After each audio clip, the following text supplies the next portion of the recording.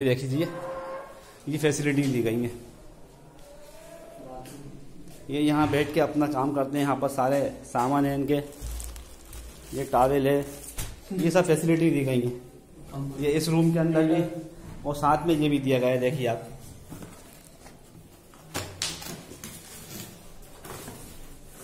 ये फैसिलिटी है। ये केटल है। चाय गर्म करने के लिए अभी सामान उन्होंने कहा ला के देंगे और यहाँ पर ऑल आउट भी दिया गया है। अगर आपको लग रहा हो मैं आपको बता दूँ, सारी फैसिलिटी है, जिस तरह फैलाया जा रहा था कि बड़ी गिरफ़्तार किया गया है। ये मस्जिद है, ये किचन को मस्जिद बनाया है। यहाँ से भी आप देख सकते हैं, देखिए।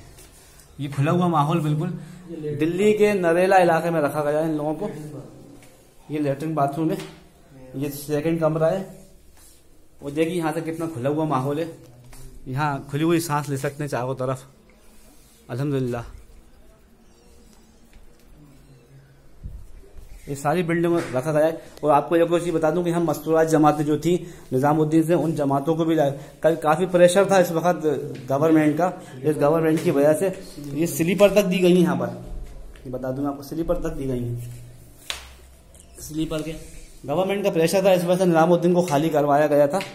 बहरहाल निजामुद्दीन से खाली करवा के यहाँ रखा है और जो मस्तूरात जमाते हैं मस्तूरात जमातें जो थी, उनको जोड़े से रखा गया है यहाँ पर।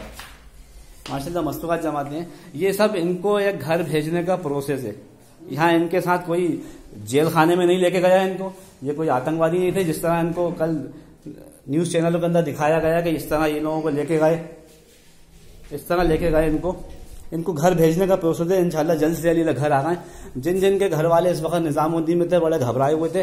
उन तक इस वीडियो को पहुंचाएँ और बता दें और इंतज़ार करें कि उनके मुजाहिद